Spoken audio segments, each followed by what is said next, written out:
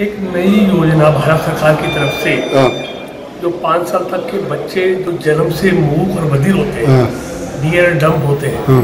तो एक नई स्कीम भारत सरकार की हम गोवा में लॉन्च कर रहे हैं। कि ऐसे बच्चे जो पाँच साल से कम हैं पाँच साल तक के बच्चे जिनको ना सुनाई देता है ना जो बोल पाते हैं उनके लिए हम गोवा में ऐसे बच्चों का सर्वे करके उनको एक कॉकलेर इम्प्लांट निशुल्क जिसकी कीमत लगभग छः लाख रुपए का जो इसकी कॉस्ट आती है वो हम गोवा के ऐसे बच्चों को लगाने के लिए यहाँ आए हैं।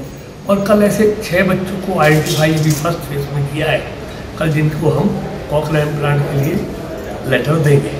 वो क्या बोलते हैं उसका प्लान इंस्ट्रूमेंट का क्या कॉकलेर इम्प्लांट ओके वो ऐसे मूक बधिर बच्चों को लगाया जाता है। जो बोल पाते हैं जन्म से ना सुन पाते हैं। ऐसे पाँच साल तक के बच्चों को ऐसा हम भारत सरकार की तरफ़ से छः लाख रुपए का पूरा खर्चा भारत सरकार उठाती है और ऐसे बच्चों को हम वो कॉकलेर इम्प्लांट लगाते हैं। लगाने के बाद ऐसे बच्चे सामान्य तौर पर जिसका सक्सेस रेट सौ फ़ीसदी है वो बोलने भी लगते हैं और सुनने भी लगते हैं। गोवा में ऐसे कितने बच्चों को देंगे?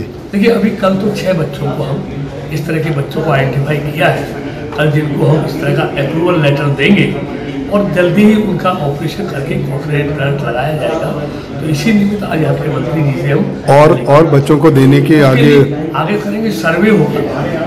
उसके लिए गोवा सरकार सर्वे कराएगी। कि ऐसे कितने बच्चे हैं पूरे गोवा में उसका सर्वे करा के उनको लिस्टेड किया जाएगा भारत सरकार की कौन से स्कीम के अंडर किया जा रहा है? ये एडिप स्कीम के तहत भारत सरकार करती है और कुछ सी एस आर के स्कीम भी करते हैं। तो भारत सरकार एडिप स्कीम के द्वारा ये ऑपरेशन एक कॉकलेर इम्प्लांट लगाती है। आपका पूरा नाम sir?